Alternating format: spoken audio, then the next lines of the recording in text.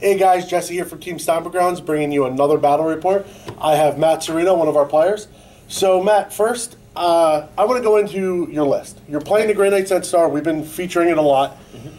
Why is that? I know why. You know why. Tell the internet why. It's good. Um, so, base idea: twenty-three psychic dice a turn. Um, and the big thing with psychic phase is you're not. It's not like before where you're going to get every power off, but 23 plus your, your d6 means you're getting your like four, like three to five important powers a turn.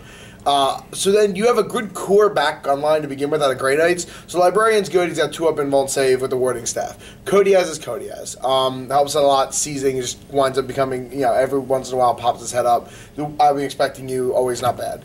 Um, six Razorbacks all with Psyker. So the Razorbacks all know Banishment and Sanctuary. Banishment's really good. You play at random demon matchup, start shooting Banishments out. Uh, each Psyker gets a roll in telepathy. So, you know, you're getting potential extra invises, terrifies, and then they all get psychic streaks. So you have six psychic streaks in your back line. So you have a lot of backfield defense out of your three-man henchmen. A lot more than you would be used to if you've played Grey Knights or played against Grey Knights in 5th edition.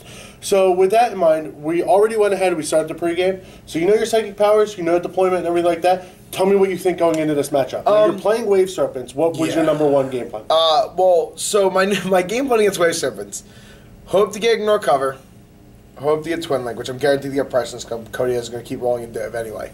Um, be able to gate up, kind of get in their face, and just start picking at Wave Serpents. Pretty much, pretty much keep them away from my Dreadnoughts. Um, keep him away from my Dreads and my Razorbacks. Get in his back line and cause havoc. Make him react to me because in theory, you know, I have one super powerful list. Everything else is kind of okay. Like the Dreads are okay. The Razorbacks kind of suck against them. Um, they're good at cleaning up his troops, like the Dire Avengers once they come out. Uh, but pretty much be able to force force him on the defensive. So that means when the Wraith Knights come in, the Wraith Knights either need to react to me mm-hmm. or they try to flank around me. And then normally, if I have gate, I can just kind of gate back and play Wraith Knight defense. So you say normally if you have gate. Yes. So we've already done our pregame. Yes. Justin has the objective advantage. So yeah, it's Vanguard. And you have already determined yeah, your So it's powers. Vanguard, which means he can be really far back if he wants. In theory, it's the farthest he can be away, minus Hammer and Anvil. Um, he's gonna. So it's that, and I'm, I, he has two objectives to my one, and my psychic powers. My librarian didn't get gate. Um, he's a pile of duty. That he has sanctuary. That's about all he's actually going to cast this game. Um, then Coteaz got just prescience, and uh, so no perfect timing. He has misfortune and precog, and then Tiggy bailed me out, got me perfect timing, got me Forewarning, and got me pressure or got me invis. So I have no gate. Um, the big debate was going versus invis versus gate. I I feel like, especially because it's Vanguard, I can kind of get, especially if I get to deploy first, kind of deploy the cents in the middle and kind of just get to the middle and create this like circle of death. Mm-hmm. And I feel like Invis was more important because protecting myself. Um, Gate could wind up being more important because it let me get around and chase him. But if I can get the first deployment, I can kind of get to the center and create that circle and force him to kind of use that as like a six inch, well, 30 inch effective death range and make him get away from me um, and try to protect my guys. What bit. is your What is your prediction in the matchup? Normally, under average circumstances, I think it's in my favor. I think all my psychic powers and my shooting from the ground set in general is good. I think everything pregame has kind of gone against me. Um, it only could go worse if I didn't get perfect timing in Abyss. Um, you know, I perfect timing being the most important of all my psychic spells in this game. Uh, but like he has objective advantage, so I have to now. Now there's no question I have to get offensive. You know, he's looking at uh, ten objective secure or eight objective secured things on his side of the field, and I have to go hunt now. Um, he's got that. Uh, he's got objective edge. My psychic powers kind of stink. That's the biggest thing. So like right now, it's it's going to come down to dice. It really is. Um, the dice have been against me so far. If I can get good shooting, depending on how everything goes, maybe it'll turn back in my favor. But right now, I think it's a little bit tipped towards Justin. But again, it's going to come down to dice. I think, like well, every game. Let's go ahead and jump into the game. All right, All right guys. So we're here bringing you another battle point. I'm with Justin Cook, a Wave Serpent player. Justin, tell me a little bit about your about your list. Uh, well, Wave Serpents um, got good. I know they were really bad in sixth edition, and they were totally never used by anybody. Uh, that's a lie because they were, they were they were seriously like the best tank in sixth edition, and And in still- addition, that was very harsh to vehicles at that. yeah, and they and then they got a three up all the time cover save basically. As long as you move. As long as you move, we found that out. Yeah, you can't you can't start the game. not- we and not- found that out. You didn't know that. Yeah, yeah. I knew we that. found that you. out by he found that out like weeks ago, and then he was like, "Hey, Justin, screw you." Um, but anyway, so yeah, so yeah, when Eldar came out, So, uh, yeah, we so as a team, me and you especially, um, Yep. and DeFranza, we saw a battle report with him, but me and you especially have been championing the Wave Serpent build. Um, you know, I, I've sat down so far with Mazzarino with his Granite Scent list, Mm-hmm. uh, you know, and it's a, it's a very, very tough list. It's a very good list. It's a list that we as a team are thinking is going to, you know, be popular in the meta. Yeah. Um, you know, and, and Cerino has been playing it, you know, in and out, uh, and it's been doing well for him. You are on the Wave Serpent build, so am I. We, we both have some slight variations. So, first of all, tell me why Wraith Knights?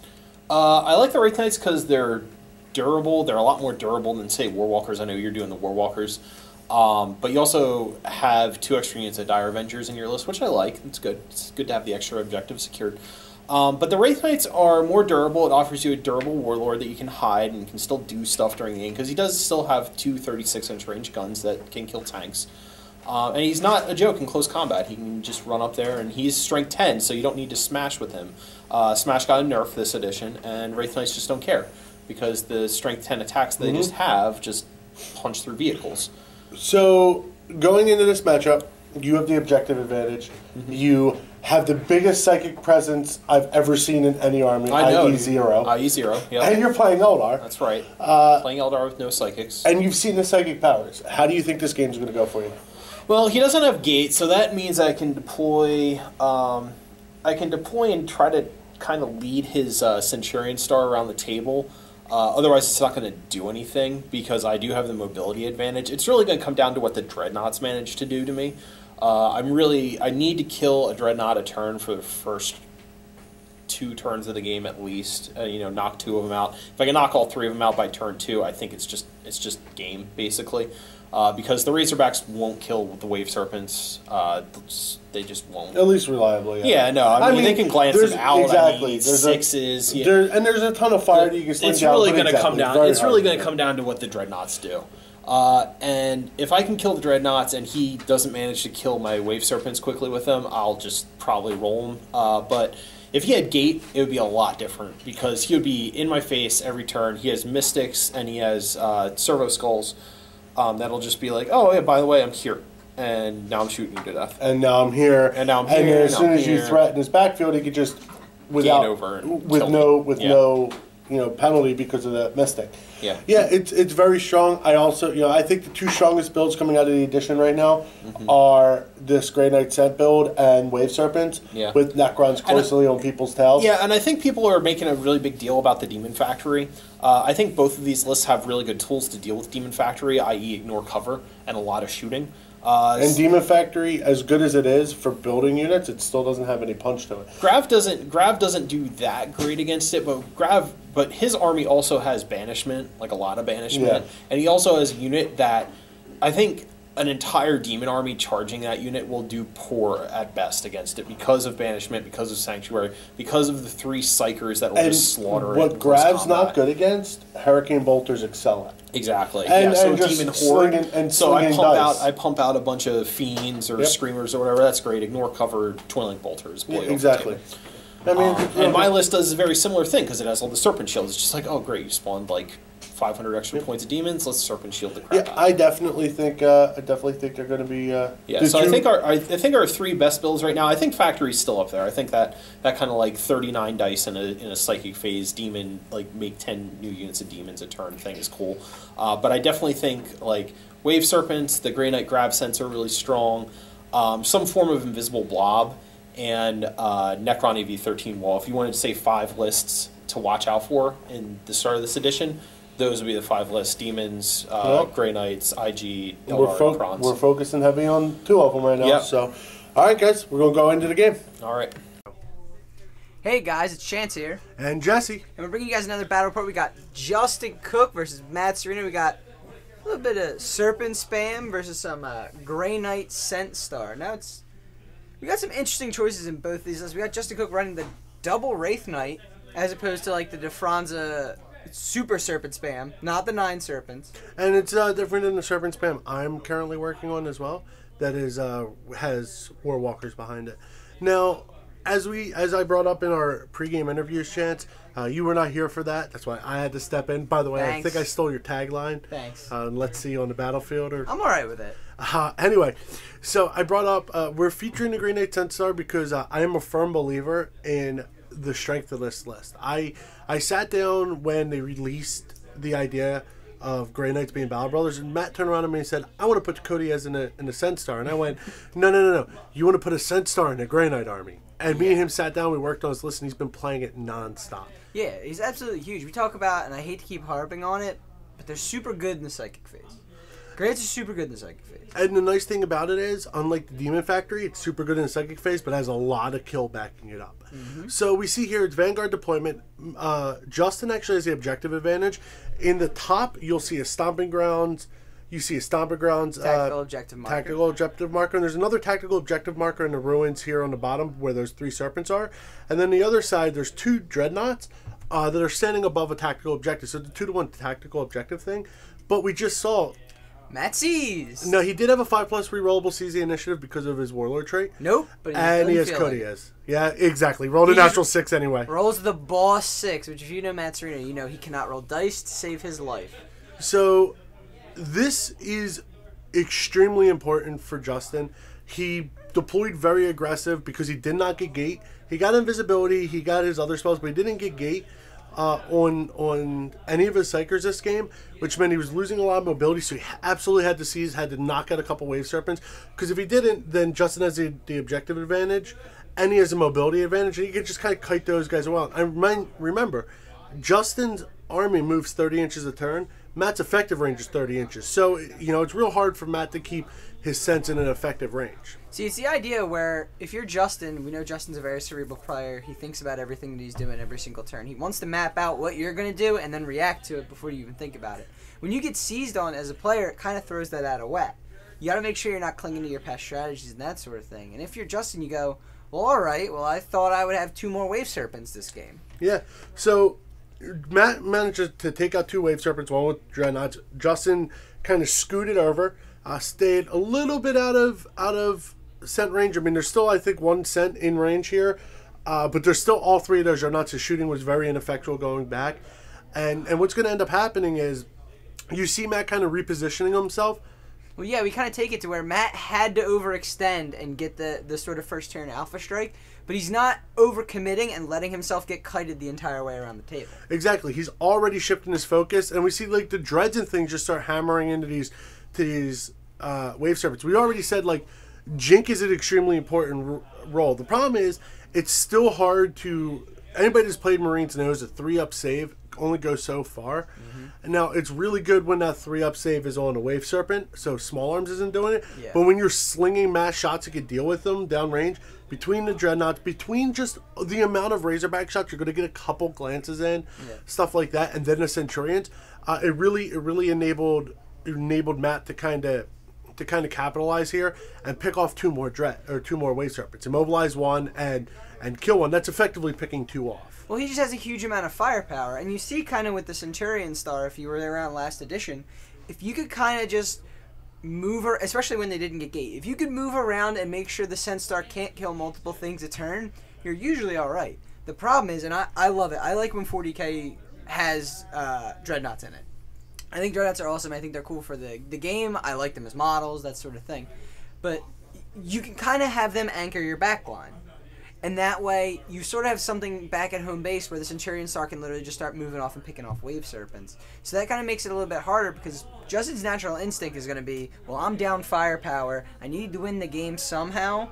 And he's going to try and win the game by taking pot shots, staying on the outside, kiting Matt around. And Matt's actually doing a really good job of trying to maintain the area threat around the center of that table. So no matter where Justin goes, there's a 24 inch range of those those grav guns and those grav cannons, just taking things out. Exactly. So Matt's already repositioned with his outflanking scouts and things. Came in on this side. He's basically taken the objective and turned this into a Dawn of War deployment, which is now giving him the objective advantage. And and uh, Justin's Warlord Wraith Knight is kind of moving around trying to get down to start threatening his range. But again, Justin has to keep that Warlord. Wraith Knight, because he's the end, has to keep that Warlord outside of 30 inches, which means that Warlord's not really able to lend much effective fire. And remember, with the visibility, it's kind of a wasted uh, wasted opportunity for him to shoot at the the Yeah. sets. I mean, we've talked about how good invisibility is and how good invisibility is on a unit that can take out multiple transports a turn. And we've talked about how good transports are in this edition. And you see that those guys hop out of the serpents, not gonna do a whole lot. No, because they get shredded immediately by the by the Strength Six AP4 side-bolted heavy bolters. I mean, those Dire Avengers only have a four-up save, so it gets right through that save. I mean, Matt just making quick work. He's moving his Cent Star again towards the middle of the table. Uh, one one key flaw that I think does happen here uh, for Justin is there's a key turn where Matt actually it's this turn Matt actually fails his invisibility and instead of kind of uh, uh, instead of kind of dumping some fire into the sensor, that's where you dump the fire in because now if you kill off that that furthest up scout or cent, he's the only one that's going to be able to really get effective range for the next two turns on some of your other targets. Um, so you kind of you know you kind of want to take your fire that's coming and now uh, you know lay in some fire. He fell that invis. Yeah. So now the big thing is is those D cannons, strength ten, AP two. So it's ignoring the armor and it's it's incident it's instant killing out of set. So if he can land two hits and two wounds, uh, let alone from both wraith knights, that could potentially. So we have one two cents, then his librarian, who's his warlord. He does have a two up invulnerable, but it's still instant death. So he might just look to look out sir that to another cent. So you know you could potentially kill three Yeah. cents. Exactly. If you can get the cents off the table, a librarian, one centurion, not going to be nearly as big of a problem. But do you think Justin kind of got in his own head a little bit and he's going, well, I'm not, I'm operating at like half firepower, like 60% firepower. Not now." even that. He's Yeah. He's way below all of his. Do you think? Do you think he just he's so afraid of all inning when all inning's probably his best decision? Uh, yeah, he's really right now. He's trying to play to try to get. He, he's really trying to outplay Matt. And the problem is, is Matt's a very good player as well, and there's not much in the in the outplay factor, and he's trying to do a lot of like finessey things, and by but the problem is, is by doing this this finesse move, you know, it, it really it works, but there's a, there's a problem. If you lose any more of your mobility, you don't have much. You have one wave serpent. If you lose any more of your mobility, you're kind of done. And the problem is, is Justin did lose his mobility. That wave serpent got stunned, which means it doesn't move for a turn. And now it's basically a free turn to be shot at. Had he dumped his fire into those those grav cents, like I said, that wave serpent wouldn't be able to get shot, neither would his warlord at all. And those cents will put wounds on Wraith Knights like it's nobody's business. And- now, if you're not running those and you're able to just keep the pressure, if you don't have the Centurions, he doesn't have an answer to your Wraith Knights, you kind of force him down his throat. Yeah, it's pretty much one of these things where we see Matt. Matt wants to be aggressive, but he pulled the reins back.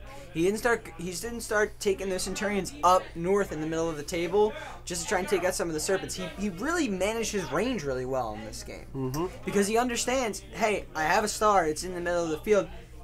You need to answer me, and it's. And I think Justin's flaw in the game right now is just it's paralysis by analysis. He stayed back and he tried to be too tentative, just got everything picked off. I mean, we look at it and the Wraith Knights are cool. They come in late and everything like that. But when you're Justin, you sit there, you're like, oh, I got seized on. Oh, my serpents got killed. What are you gonna do? Well, the idea is you can't just sit there and go, well, really sucks. Well, I got another wave serpent killed. Well, that really sucks. And I feel like Justin may thought, well, as the game goes on, maybe I got a better shot, but we saw that Cent Star is just too good right now. Yeah, I mean, not killing, not taking the opportunity he had to, to put some hurting on the major damage dealer, uh, really kind of killed it for him. Yeah, definitely. And we see Matt's running around. He's oh, he's gonna take some Wraith Knights off the table. How many wounds did he cause actually? He caused uh, five wounds to the Warlord and 16 wounds to the Yellow Wraith Knights. I actually made him put it back on the table and kill them both twice over. Yeah, they're 17 wound models, right? Nope!